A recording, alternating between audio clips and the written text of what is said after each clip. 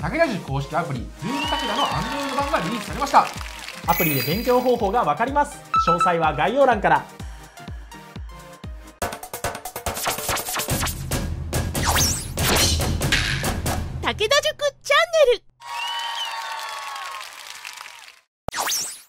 それでは教場の中森です。武田塾教務の高田です。この動画をご覧の皆様はグッドボタンおよびチャンネル登録よろしくお願いいたします。お願いします。中森先生はい。えー、2020年武田塾チャンネルを振り返ろう企画、はい。えー中森先生が選ぶ、えー今年の、えー動画ベスト3をちょっと聞かせていただきたいんですけども、お願いします。はい、じゃあ第3位は？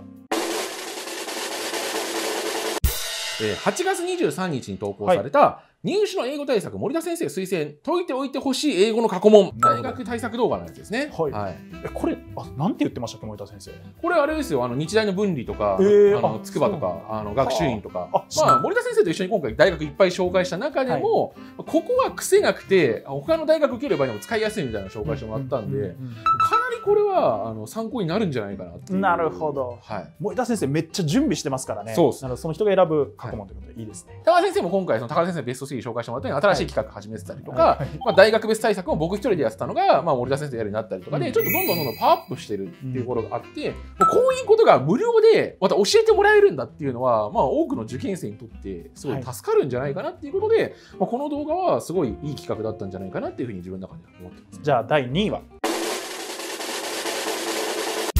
えー9月24日にえー投稿された1日1冊の参考書だけ必死にやるぜひやってほしい1日1冊法。これ良かったっすね、はい。めちゃめちゃ反響あった回じゃないかなと思います、い。やねこれは本当に今見てほしい。直前期の受験生こそ刺さる内容ですね、はい、僕は本当にこれ1日で成績めちゃめちゃ上がった人間なんで、劇的に変わるんですよね。例えば理科基礎とか公民とか、あとは1分野だけやるっていう、1日1分野法っていう応用パターンもできたりするし、自分の勉強人生に革命起きると思うんで、やったら、なんか10時間前の自分と偏差値が10とか20変わったりするからね、1科目だったら、ぜひやってほしいなと思いますね。各科目まんべんずつちょこちょこやるってのもありなんだけど成績がまあ良くない人はもう今日はこの科目だけ絞ってやる。この本だけ絞ってやるって決めてやっちゃった方が、えー劇的に成績伸びるよと、はい。そういうねあの動画で話してるのでぜひ見てほしいですね。そして、えー、栄えある第1位は？はい。えー4月26日投稿、悲しいです。はい。悪いのは学校教材ではなく〇〇だ。学校教材をめくり中森先生が高田先生に大反論、ちょっとねこの反論形式の動画を、えー今年ね何本かやりましたね。学校教材だったり、定期テストだったり、ね。はい。はい、学校の宿題だったりいろいろやりましたけども。武田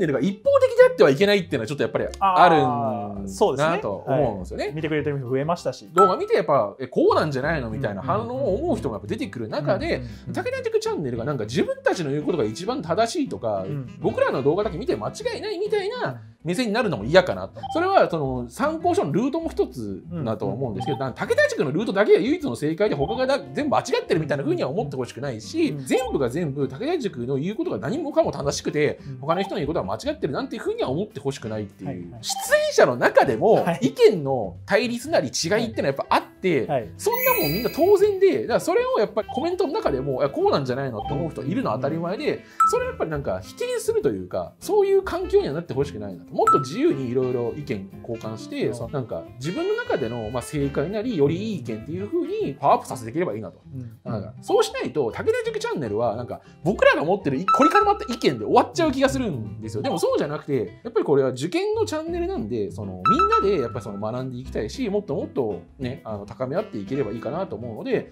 去年よりもあの今年の方が今年よりも来年の方がやっぱ成長できてる。いろんな意見がやり取りできてるチャンネルになればいいなってことでこれを選ばせてもらったって感じですね。じゃあ僕の結構極論を言う癖があるんですけど、はい。それは来年も続けていっていいってことですね。いろんな意見があっていいということは、だってその意見持ってる人いるだろうし僕の意見持ってる人もいるだろうしでもそれはどっちが間違ってるとかじゃなくてなんでそう思うのかとか、うん。じゃあどうなのかってことをもっとやり取りできればいいかなっていうので、はい、紹介させてもらいました。まあ、シンプルに面白いんでねこの動画は。ぜひ皆さんに見てほしいですね、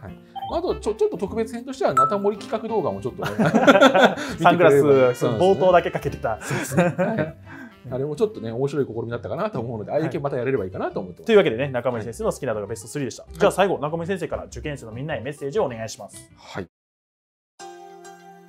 僕はですね受験勉強をする皆さんによく最初に言うのがあなたは受かっても落ちても泣けますかと。それぐらいの思い入れがあって勉強してますかっていう話してるんですよ。もう受験勉強っていうのは成績を上げるのと同時に自分の可能性を開く。そういう機会だと僕は思ってます。受験が終わった後自分を好きになってほしいなと自分を肯定できるようになってほしいなっていうのがすごい思いとしてあってひょっとしたら今みんな受験勉強してるみんなは自分のことを肯定できないあるいはこんなんじゃ受からないとかいろいろ焦ってるかもしれない。でも頑張った自分っていうのは少なくともその春とかね夏とかのいや頑張ってなかった自分は絶対素敵な人間になってると思うんですよ。でやっぱりそれはまず僕が僕が勝手に言うだけですけど僕は皆さんのことを肯定したいと認めたいと偉そうに聞こえるかもしれないけどもうよく頑張ったなと。でも最後やっぱり結果っていうのがみんな欲しいと思うんで最後の最後まで頑張ってほしいなっていうふうに思います。昨日よりね今日の自分が好きになれるように受験終わった自分がもう受験やってよかったなって思えるように最後まで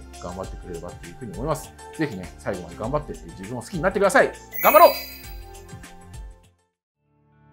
先日私高田が武田塾札幌校へ行ってきました。札幌校の渡辺先生とても素敵な先生でしたし教室の雰囲気もとても良かったです。札幌校の紹介動画上がってますのでぜひ皆さんご覧ください。